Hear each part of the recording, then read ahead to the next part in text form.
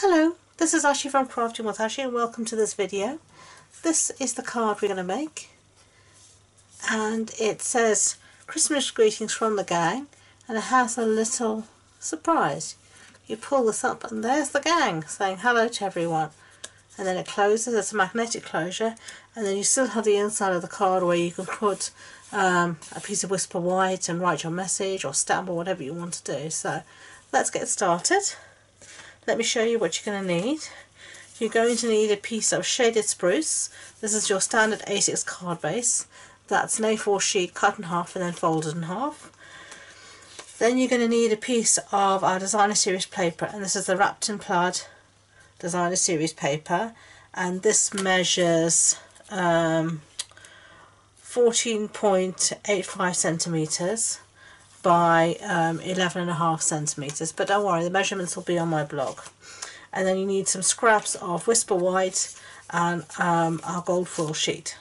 So let's get started. The stamp set we're going to be using today is one I've used before. It's called Christmas Crowd and we're using this wonderful stamp here and this greeting here. Okay and we're going to be colouring in with our blends. So I'm going to stamp it in Memento. So let's just ink up our stamp, get it nice and inky. Now I'm going to stamp it in the stamp Stamparatus mainly because firstly it needs a big block and secondly if I make a mess um, I can restamp it. So if it doesn't stamp very well the first time for some reason, or if I want it to be really nice and black, I can restamp it like there I wanted a bit more black and I didn't get it very good there. Here so I'm going to restamp.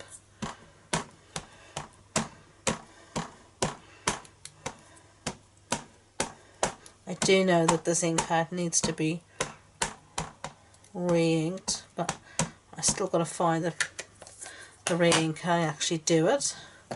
And saying it needs being saying it needs to be done and actually doing it two different things in this house. I don't know about your household, but in, certainly in mine, unfortunately yes. But there you go. Beauty the Stamparatus has fixed that problem for me. Okay, so let me just clean that up using my Stampin' Chamois so I can put it away nicely. And the Stampin' Chamois is a marvellous tool. It really makes stamping so much easier, especially stamping on the go because you don't need to take your whole scrub. You can just put your stamp and Chamois into your DVD case and sling it in your bag and off you go. So really useful tool. Okay, so let's put this back in here so we don't lose it. And now we want our sentiment, which was this one, Christmas greetings from the gang. So let's stamp this while we've got our Stamparatus out. So I'm just going to put it somewhere in the centre. I'm not too concerned because I am going to um, cut everything else out with our stitched rectangular framelits. So I'm just going to stamp this one with shaded spruce ink. And as you can see it's much more juicy than my Memento pad. Make sure this is in the corner. And then down and just give it a bit of a press. Keep your fingers crossed. Yay! Perfecto. So now can put that aside. Let me just give this a clean. I tend to be like this. I like to clean up as I go along. I find that it just makes life for me much more easy than having a huge job at the end which just feels overwhelming. I don't know what you're like. Let me know. Do you clean up as you go along or do you prefer to um, do it all in one go at the end. So let's set that aside and bring our friends back in here. And as I said, we're going to colour them in using the blends. So let me show you what I'm going to use. Now I'm going to colour these in very much the same way as I did before. So I'll link the video before. I did one called Christmas Crowd, Christmas Card. And I'll link it in the description box below. And I'll show, I also coloured it with the blends and it shows everything. Let me tell you the colours I've used. I've used Pumpkin Pie, light and dark. I've got the light black. I've obviously got the colour lifter for any mistakes, any problems. Um, I've got light and dark shade spruce, light and dark real red, um, light and dark what you call this colour, um, crumb cake, light and dark, soft suede, and then I've got the ivory as well. So those are all my colours, so I'll set those aside. And I'm going to fast forward now through the colouring.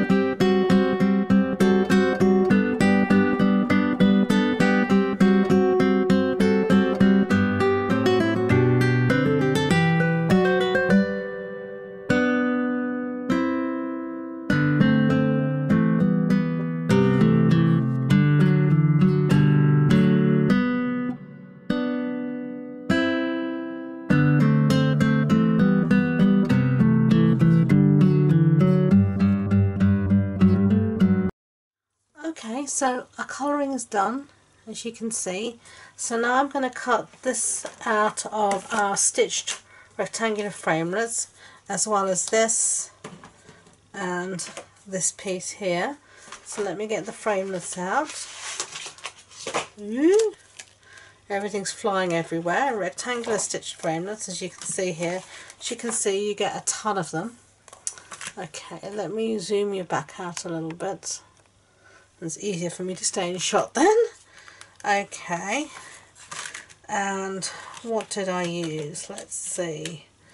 I used, yes, that one for there. And then I used this one for my piece of um, gold foil. I used the second largest one, I think didn't I? Yes. To cut out our um, gang. So I'm going to put all that through the big shot and then I'll be back. Okay, so all our bits are cut out. So I'm going to stick this greeting to our copper, I mean not copper, gold foil. I'm just going to do that with some snail. I just love the way everything coordinates and mats so beautifully. Then I'm going to bring back our, um, actually first, let's do this next bit first before we do any more sticking. Our piece of um, wrapped in plaid designer series paper. And now I'm going to show you something wonderful. Our new trimmer. Look at this. It is brilliant um, it's open at the moment for demonstrators to order one each only one and then beginning of November we'll get told when customers will be able to order it but it is amazing it cuts like butter it is brilliant and it scores so beautifully. The old trimmer I never used for scoring because I felt it just didn't give a, a nice score line. It didn't give a crisp, easy to see score line. This is wonderful. So, and as many people know, I'm a metric girl. Um, I do do a lot of my boxes in inches and stuff. That's mainly because the scoreboard is in inches. There is a metric plate, but it doesn't score down like to a quarter of a centimetre, which sometimes you need. So we do the inches, but I, I don't like inches. I didn't grow up in inches. And um, I, I struggle with it because, again, I'm actually, if anyone doesn't know, by um, by training, I'm a molecular biologist actually. And therefore I learned everything in metric and of course, you know, when you're doing, you know, when you're calculating solutions and stuff, we're using metric measurements, not inches. So I just haven't got used to it. So I love this anyway. So our piece of, get back to crafting after all that waffle. Um, we've got our wrapped in plaid designer series paper, which as I said measures um, 14.85 centimetres by 11.5 centimetres. Now on this 11.5 centimetre side, you're going to want to score it at 1 centimetre. And this is made so easy here. And the score is the light grey, so Let's move the cutting blade out the way. It's a light grey and you just want to score it a few times and that's it. And it scores it beautifully. Now as you can see we've got measurements down the centre here and all these lines coming down and this makes figuring out and making sure everything is straight beautifully easy. If you'd like me to do a demonstration with this new trimmer then leave me a, a message in the comments below and, and I'll do that for you no problem at all. So let me know. Are you excited for the new trimmer? I am. I think it's marvellous. Anyway, setting that aside, we've got our score line here and I'm just going to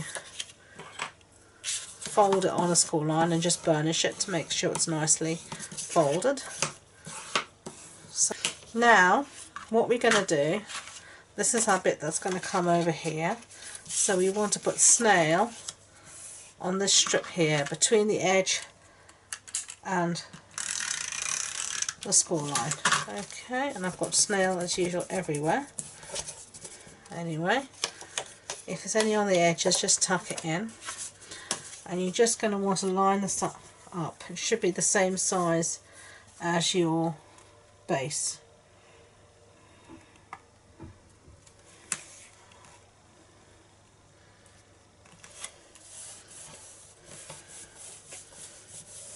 Okay. Whoops. Let me turn this over because I've got snail on the grid paper. Isn't our grid paper lovely? It's got two sizes. Really nice paper. Okay. Okay, so that's our one side. So now we're going to bring back our um, what you call this, our um, little gang, and they're going to go here. But first we need to put our magnets down and I'm just using these very small magnets. I've got two of them here and I'm just going to stick it down using some tear and tape.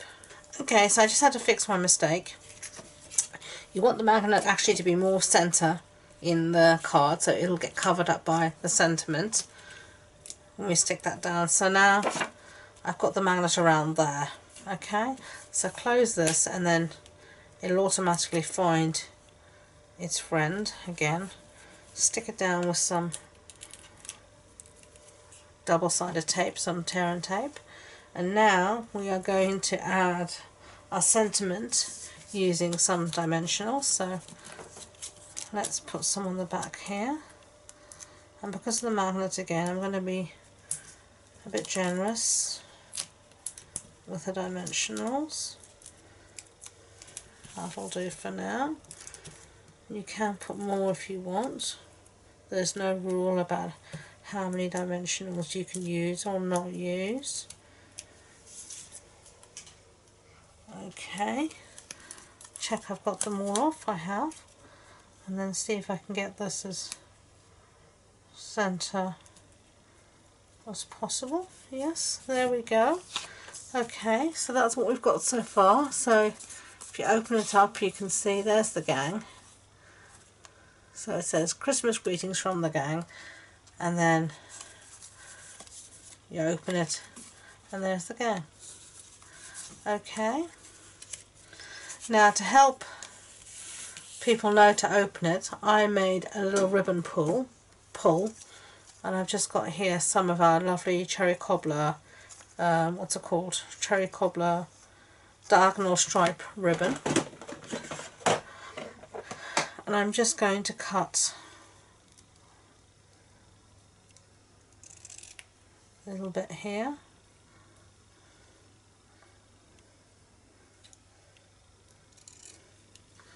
Okay, stick this down at the top and if you don't want it showing you can just pull a little piece of paper and I'll show you. Just let me find my edge here of my tear and tape.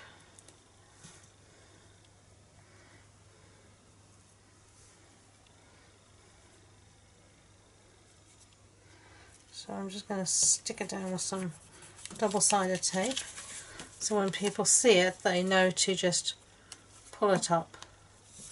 And then as you can see on this one to cover that up I just stuck a piece of designer series paper there to cover up but I've forgotten to bring that up with me so we won't be covering it up today you know.